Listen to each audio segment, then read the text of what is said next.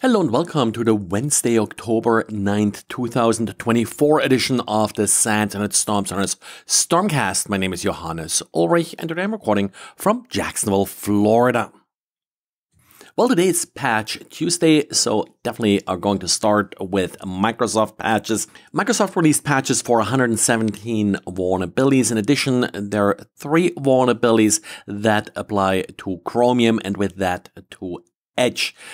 Three of these vulnerabilities are rated as critical, which again is a fairly small number compared to past Patch Tuesdays.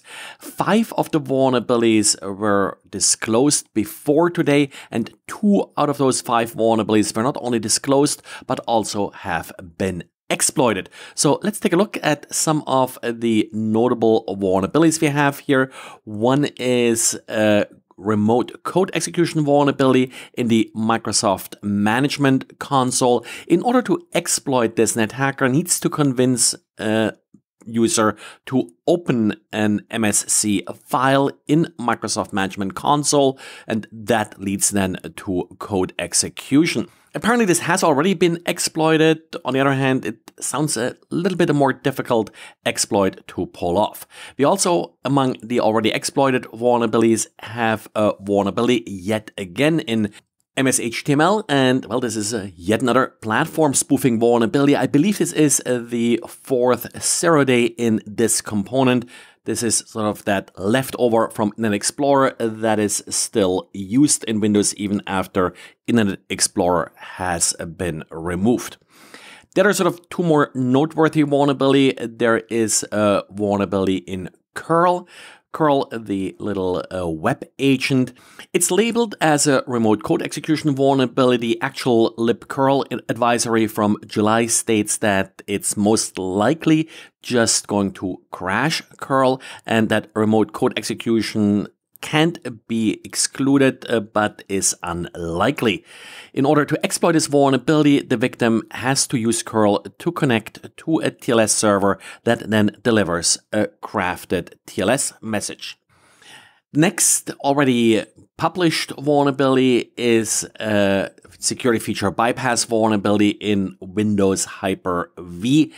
It bypasses UEFI and then essentially can compromise uh, the hypervisors and the secure kernel.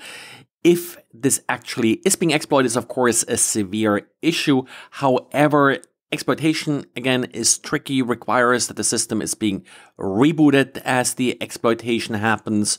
So, again, uh, nothing to be too worried about, but definitely a patch that you want to address.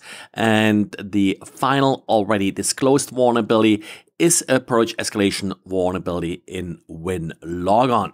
Among the critical vulnerabilities, we do have a remote code execution vulnerability in the remote desktop protocol server. Uh, things like this have been exploited in the past, so it's certainly something uh, to keep a little bit an eye out for. Uh, next, uh, more Microsoft Configuration Manager remote code execution vulnerabilities. And uh, then we also, I think that's well, it sort of interests me personally a little bit, uh, but still I think one of the lesser uh, of concern vulnerabilities here, even though it's critical. A Visual Studio code extension for Arduino remote code execution vulnerability. Yes, it's a remote code execution vulnerability, but you actually have to have the Arduino extension running. That's just the highlights, but I said, lots of vulnerabilities being addressed here, so definitely apply this patch. Uh, there are a number of sort of somewhat concerning issues here. For example, in the Windows Mobile Broadband driver, there are denial of service and remote code execution vulnerabilities. There are a number of different remote code execution vulnerabilities in the Windows routing and remote access service these are some of the things that are a little bit uh, harder to sort of judge, you know, how much they matter to you. Depends, of course, on whether or not you're using these components. So definitely apply these patches. Adobe also released updates for nine of its products. Uh, the one that sort of sticks out here a little bit is Adobe Commerce. Six of these vulnerabilities are rated critical, including arbitrary code execution vulnerabilities via cross-site scripting, which is kind of interesting.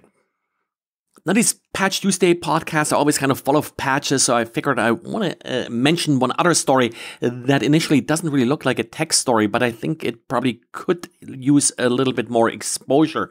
And uh, it's actually sort of more a political issue initially. The British government has given up sovereignty of a small tropical island uh, in the Indian Ocean. It's known as the Chagos Islands, if I pronounce this correctly.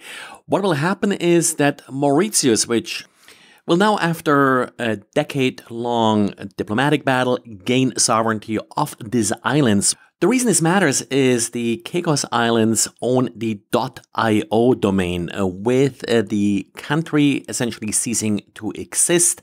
The .io domain will be retired. There will be initially no additional new domain names being allowed in that country level, top level domain.io, and existing domains will slowly be phased out.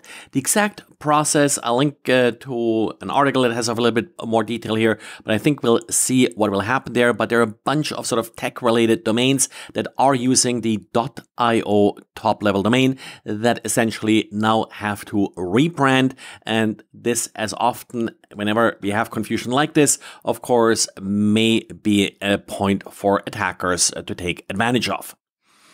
Well, and this is it for today. So thanks for listening and talk to you again tomorrow. Bye.